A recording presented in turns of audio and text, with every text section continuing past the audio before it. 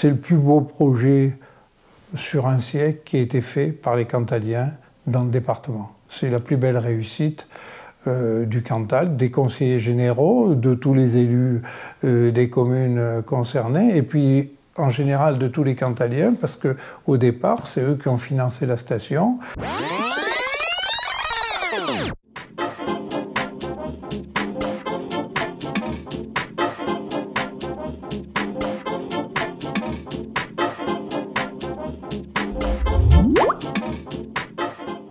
Georges Pompidou trouve les financements et en 1965, on inaugure à Noël 1965 le téléski du Ramberter. C'est le premier qui est ouvert pour les vacances de Noël et quatre jours après, celui de la gare. Voilà, c'est les deux premières installations de la Prairie des Sagnes. Et en même temps, on, on entame la construction du téléphérique qui part de la station de la Prairie des Sagnes. La construction durera environ trois ans. Et en 1967, au mois de juin 1967, Georges Pompidou inaugurera le téléphérique du plan du Cantal.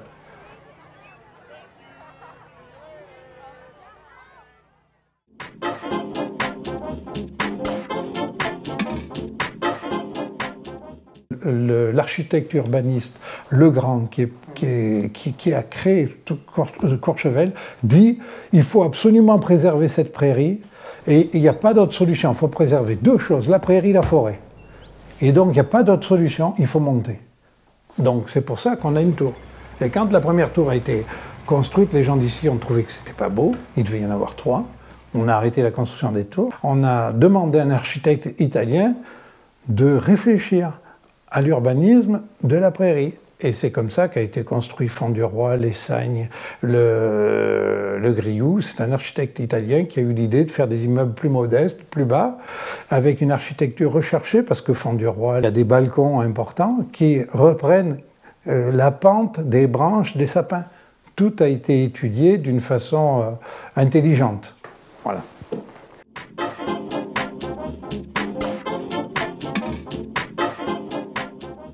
La particularité de la station, c'est deux choses. Son accessibilité par deux moyens euh, de locomotion. Le train, c'est la seule station de France euh, où on peut chausser les skis euh, sur le quai de la gare.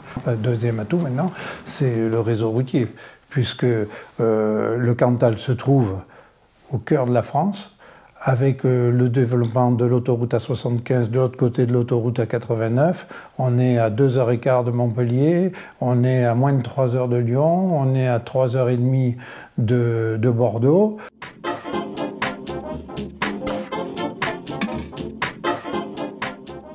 C'est pour moi euh, la plus belle station du Massif central, sans aucun doute, euh, par la qualité de son site, par cette forêt, quand euh, la neige tombe sur les arbres, on a des, paysages extraordinaires.